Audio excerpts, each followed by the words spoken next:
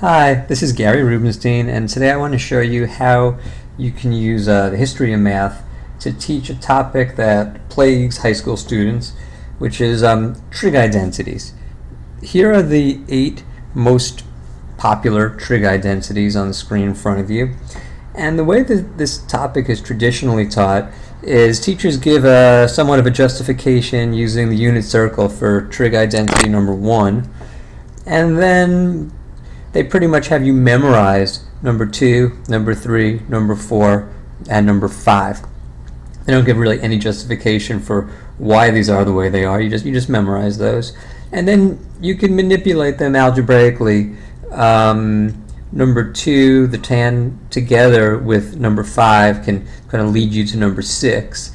And you could take number one and divide through by sine squared and use uh, substitutions um, from uh, for number 5 and number 3 to get identity 7. And you could do a similar thing by dividing uh, the top equation through by cosine squared to get number 8. That's traditional way. Students do not succeed with that method. There's no context, there's no way of figuring it out if they forget it, and it's just generally a bad way of teaching it.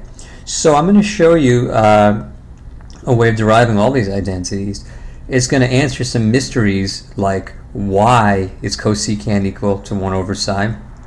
And it's also going to give us a way of uh, just developing these identities in a real easy way to recreate them all. I've had a lot of success with this. So let's go over to a diagram. Here I have a unit circle with an angle, angle uh, CAB, and I could change the size. And I'm going to keep the angle for now, uh, for this tutorial, just between 0 and, and 90 degrees. And I'll tell my students that the, uh, the sine of an angle is literally this line segment, line segment CD. And even just from this, students can get a feel that as the angle goes from 0 to 90, sine always stays less than 1, but gets close to 1, because it's part of a right triangle ACD, which uh, has a hypotenuse of 1. So already there's a fact here about trigonometry that sine never gets bigger than 1 when you stay uh, as an acute angle. Now, for my first couple of identities, I'm going to add in a couple more line segments. Now, line segment EB is part of a tangent line, and it's actually related to the tangent trig function. And AE cutting through the circle is the secant line, or that, that, that line cuts through the circle, so it's a secant line. And there is a reason why these trig functions are called that. Because if you measure EB, that actually is equal to the tangent of that angle. And if you measure AE, that hypotenuse, that's going to be the secant. And now you can see why secant is always bigger than 1. It's always this hypotenuse which is outside of the circle. And you could also see that secant goes from 1 to getting really, really big, but tangent can get all the way down to 0 and get really big also. So we get some things about the range of these functions. But now I'll show you how this applies to our, our first couple of trig identities. If I uh, pull these two these, this, uh, these triangles out, we have two similar triangles, and based on those similar triangles and the fact that the sides are in proportion, I could, uh, well, one identity I could see right off the bat, because ABE is a right triangle, I can say that 1 squared plus tan squared equals secant squared. And that's could be my first identity that I teach. It fits right in with that. Um, another identity I could see, it's not a commonly uh, known identity, but it actually comes right out of this picture.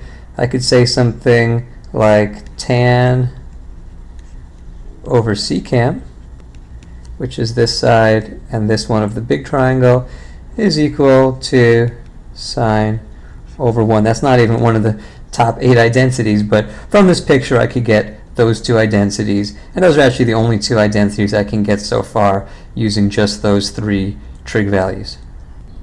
Well, to get the other seven known trig identities, um, we're going to need to know what cosine really means. The co in cosine, the co stands for complementary. So if I were to draw in a uh, perpendicular line here, And if I just rotate the whole picture like this, angle CAF is complementary to angle CAB, which means that this line segment here would be the uh, would be the cosine. This all over.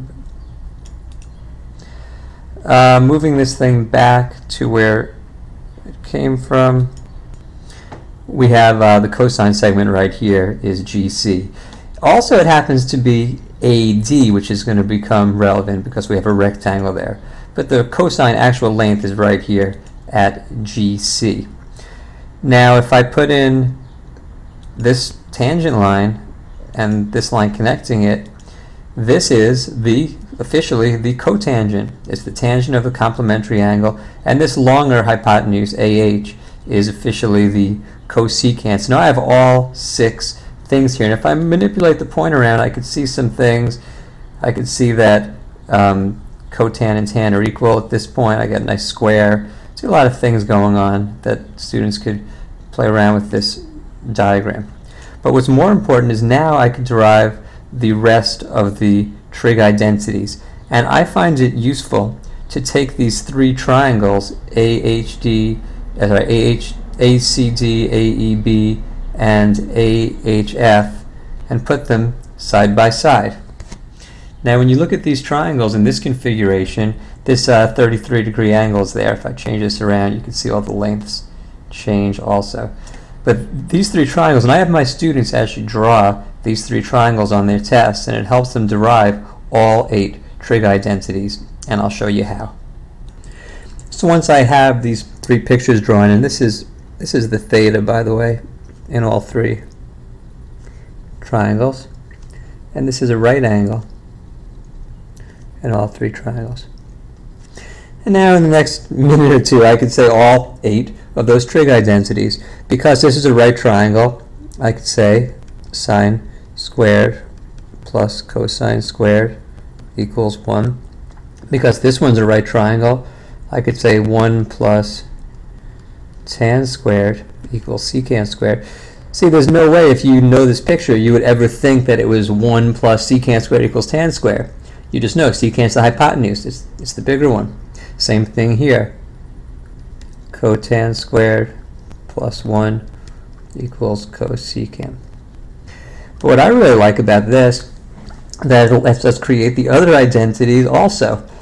For instance, um, I could say, I could use this, cosecant over 1.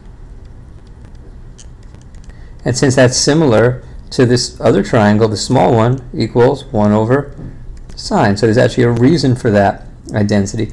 Using this triangle, I could say secant over 1 and going over to the small triangle equals 1 over cosine. See, there's a reason for that identity. And over here, I could say cotan over 1. And moving over to this medium triangle equals 1 over tan. So there's six of them. Um, using the medium and the small triangle, I could say tan over 1 equals sine over cosine. And I could even use this one, uh, cotan over 1, since it's similar to the small triangle, uh, equals cosine over sine.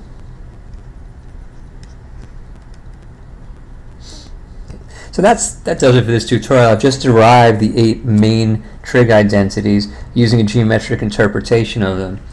Uh, I have my students actually draw these, these, these three pictures on their paper.